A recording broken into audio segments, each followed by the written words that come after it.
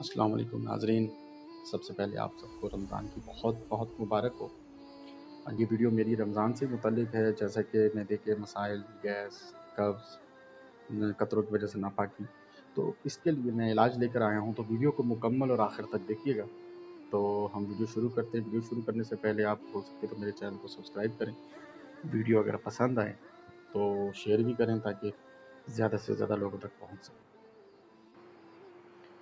देखें सबसे पहले तो थोड़ा सा खाना खाना मैदे का भर जाना, खट्टी टिकारे आना मैदे में फुलावट यानी कि फुलावट महसूस होना, कब सही से पकाना नहीं आना, या थोड़ा थोड़ा करके बार बार पकाना आना, सख्त यानी ज़ोर लगा के पकाना आना।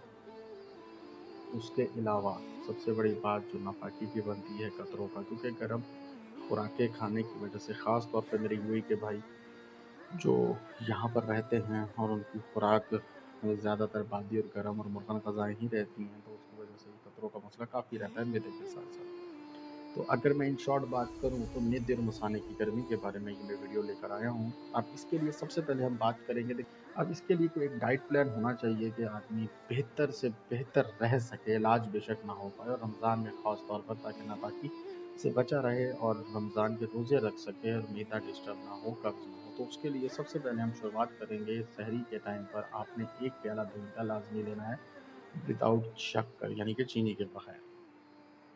अफ्तारी के एक डेढ़ घंटे बाद भी आपने लेना। ये दो प्याले आप रूटीन में अपने रख लें। उसके बाद तुखमंगा तुखम बुलंगो इसका इस्तेमाल आपने लाजमी लाजमी तौर पर अपने शरबत में, मशरूबात में खाक पानी में, किसी भी ज़रिए से लाजमी अफ्तार के टाइम पे करना है। और अफ्तार के टाइम पर आपने ऐसे करना है कि उसे भिगो के रखना है दो तीन घंटे और फिर कोई भी मशरूब जो आप इस्तेमाल करते हैं, उसमें मिलाकर आपने इस्तेमाल करना है। ये दो चीज़ें होगी। तीसरी, सबसे बड़ी चीज़ आपने रात को अगर हो सके, मुमकिन हो तो दूध में हल्दी मिलाकर इस्तेमाल करें देखिए दूध में हल्दी मिला के इस्तेमाल करें। वैसे तो हल्दी एक एंटीबायोटिक है अच्छा इम्यून सिस्टम को बेहतर करता है।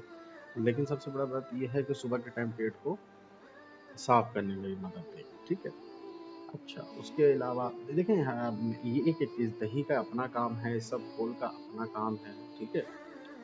और तुखम बलंगू का अपना काम है सब बोल मैंने आपको बोला नहीं लेकिन आप वो भी इस्तेमाल कर सकते हैं लेकिन उसको इस्तेमाल करने का तरीका सही होना चाहिए जैसे कि अक्सर लोग सिर्फ़ मुँह में डालते हैं और पानी पी लेते हैं। नहीं आपको उसको थोड़ी देर भिगोना है जब वो फूल जाए तो उसके बाद इस्तेमाल करना है। अगर आप डायरेक्ट इसका इस्तेमाल करेंगे तो उल्टा और कब्ज़ का बाइस बनेगा। ये बात भी आप देखिए शायद आज से पहले किसी ने ना बताई हो ऐसे तो ये भी एक अच्छी बात है, जहन में आ गई मेरे।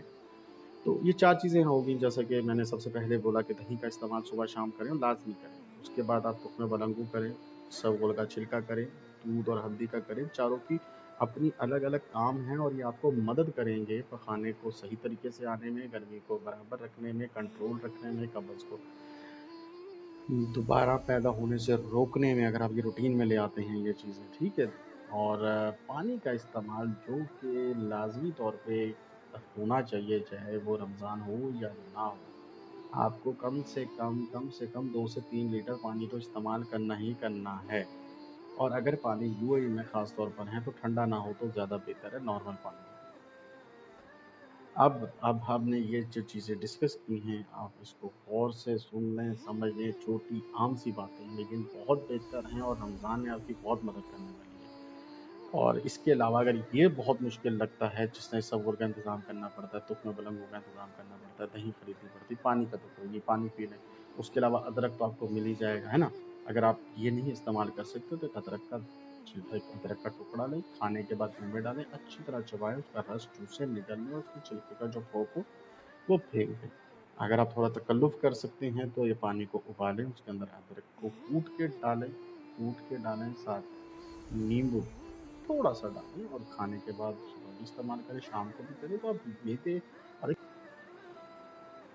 देखिए, अगर आप अपने मैदे को सही रखेंगे तो आप कई बीमारियों से बच जाएँगे। बीमारियों से बचने के अलावा अक्सर लोगों को चिड़चिड़ापन, गुस्सा, मायूसी, काम में दिल नहीं लगना, ये मामला रहते हैं जिस समय भारीपन दर्दें आँखों की तकलीफ़ मतलब इतने मसाइल पैदा होते हैं कि आदमी सोच भी नहीं सकता। तो मैदे को कंट्रोल रखना चाहिए। ये मैंने थोड़ा सा आपको गाइड किया है रमज़ान के अतबार से। इन अगर मेरी इस वीडियो को अच्छा रिस्पांस मिला तो रमज़ान, अल्लाह ताला सबको से दे लंबी उम्र दे। रमज़ान के बाद भी अगर आपने हम चले एक एम टारगेट करते हैं, अगर एक हज़ार लाइक मेरे इस वीडियो को आ गए तो मैं इन ताला, मैं एक आम रूटीन के लिए भी एक डाइट प्लान बना कर दूँगा, जो आदमी को अपनी आम रूटीन में रखना चाहिए, जिससे मैदे की गर्मी और मैदे के अमराज कंट्रोल में रहें। देखिए इन चीज़ों से इलाज तो नहीं हो सकता, लेकिन कंट्रोल में रखा जा सकता है। यानी कि अगर एक आदमी को प्रॉब्लम्स पैदा होते हैं तो वो इन चीज़ों पर अमल करे तो वो रूटीन में सही रहेगा। एक आदमी बीमार हो चुका है तो उसका तो इलाज ही हो सकता है ना? या एक आदमी को कोई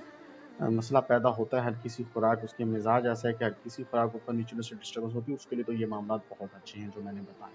कोई ऐसा आदमी जो ये चाहता है कि मुझे प्रॉब्लम पैदा ना हो तो ये मामला अपने रूटीन में रखे तो भी बहुत समझ लें तो अगर एक हज़ार वीडियोज़ को मेरी लाइक मिलते हैं तो मैं एक डेली रूटीन का शेड्यूल डाइट प्लान भी लेके आऊँगा, इंशाल्लाह आप लोगों से शेयर करूँगा।